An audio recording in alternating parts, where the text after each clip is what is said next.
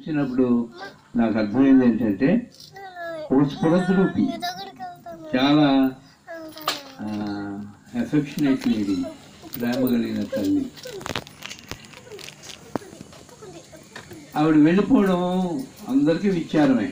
అంతకంటే ఎక్కువగా ఆమె విడిచి వెళ్ళిన కుమారునికి భర్తకి సోదరులకి చాలా విచారకరమైన విషయం అది. అయినప్పటికీ మనం ఈ లోకంలో ఎందుకున్నాం అనేది ఒకసారి ఆలోచిస్తే ఒక అశాశ్వతమైన నేల మీద ఉన్నాం మనం. ఒక అశాశ్వతమైన నేల మీద ఉన్నాం. మనం దేనికోసం సిద్ధపడుతున్నాం అంటే ఒక శాశ్వతమైన జీవితం కోసం సిద్ధపడుతున్నాం. పౌలు కొలిందీలకు రాస్తామని అంటాడు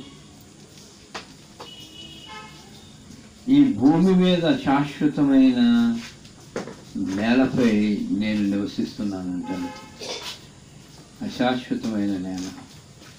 మనమందరం వెళ్ళిపోవలసిన వాళ్ళు ఒకరోజు కదా? కానీ ఎవరైనా మనకంటే ముందు ఒకరు వెళ్ళిపోతే చాలా బాధపడతాం ఇక్కడ. ఏం ప్రేమైన వెళ్ళారా